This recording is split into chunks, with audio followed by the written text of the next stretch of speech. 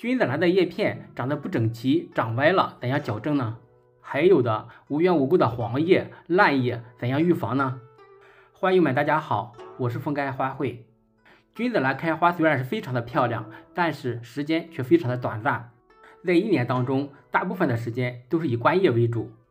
要是把它的叶片养成竖看就像一条线，横看呢就像一个扇面，那么我们在每次欣赏它的时候，心情都会特别的舒畅。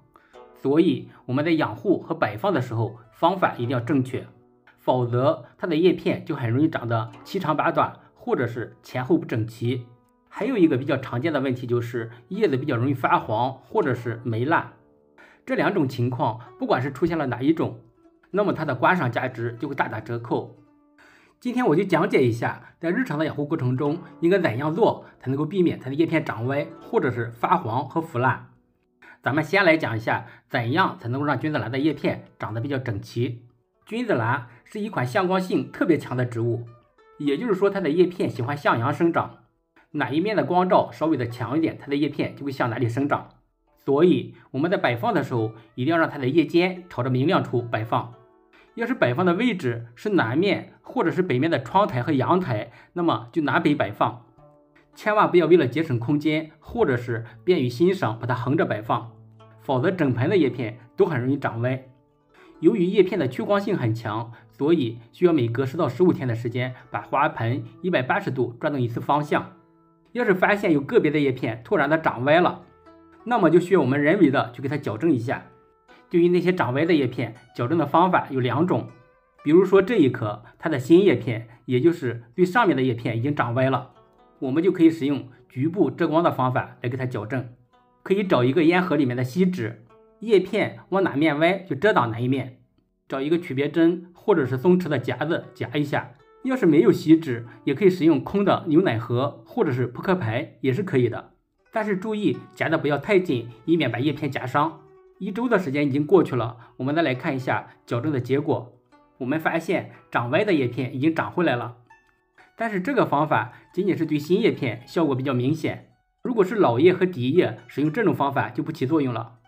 但是我们可以使用另外一种方法，比如说这一颗是底叶长歪了，我们就可以找一个硬纸壳或者是扑克牌，然后再找一个夹子，把长歪的叶片给它捋齐，也就是让它跟长得比较正的那个叶片夹在一起。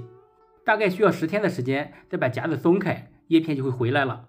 再就是为了让叶片的直立性好一点，脉纹清晰一点，那么就需要在叶片还比较小的时候，把叶尖给它翻一下。不然的话，脉纹就没有那么清晰，就会长在叶片的下方。我们可以这样操作：用手握住叶尖的上方，轻轻的往下按压一下，往上用一点力，这样就翻过来了。翻叶的时间最好是在中午，因为中午的时候叶片会软一点，不容易把叶片给翻破了。接下来我再接着讲一下叶片矫正线的使用方法。比如这一颗叶片向下卷，就需要利用矫正线来矫正一下。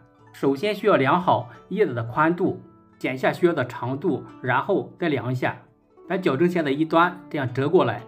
矫正线预留的宽度需要跟叶片一样，然后从叶尖处这样套进来，就这样放在需要矫正的位置，然后压住矫正线的中间，把矫正器的两端少少的用一点力往上窝一下。如果是卷叶比较严重，可以考虑使用两个矫正器。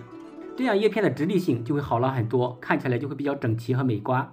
接下来我们再来讲一下怎样预防叶片发黄和腐烂。因为叶片一旦发黄或者是腐烂，就需要把叶尖给它剪掉，显得特别的难看。预防的方法就是在高温和高湿的季节使用高锰酸钾溶液来擦拭菌子兰的叶片，给它杀菌消毒，浓度不需要太高，看见水的颜色为粉红色就可以了。使用的抹布尽量的柔软一点。要求叶子的正反两面都要擦到，剩下的水也可以浇灌一下盆土，给根消一下毒。这样我们的君子兰就会很大程度的降低烂根和黄叶。